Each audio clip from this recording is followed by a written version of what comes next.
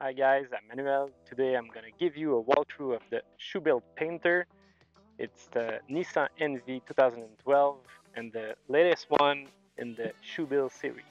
It's well equipped, it's durable, and got all the functionalities that you will need for your next trip on the East Coast or wherever you want to go.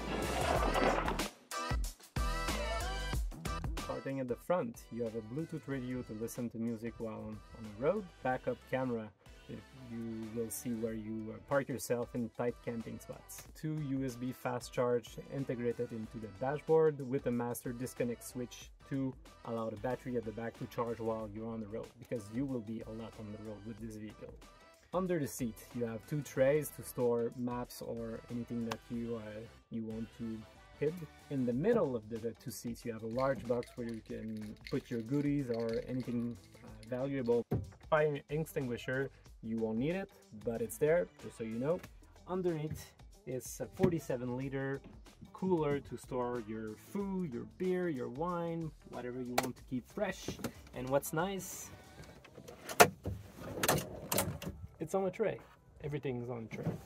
But you will be able to easily access the content and if you need, take it outside. Under the bed, two large drawers, secondary blanket. In wool it's more warm, some towels and the curtains installed behind the driver's seats so you will block the sun when you want to sleep or anything else.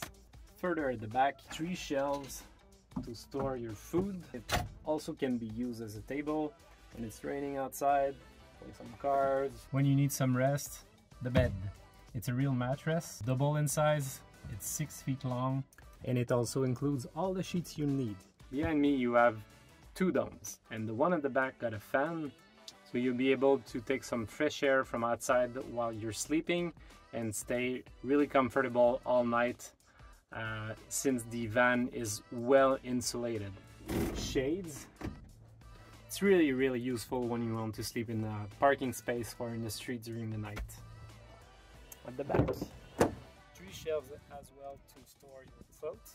Small shelf where you can store other goodies, but there's also the two-switch one for the main light system and the secondary one which is more for the ambient light, more cozy.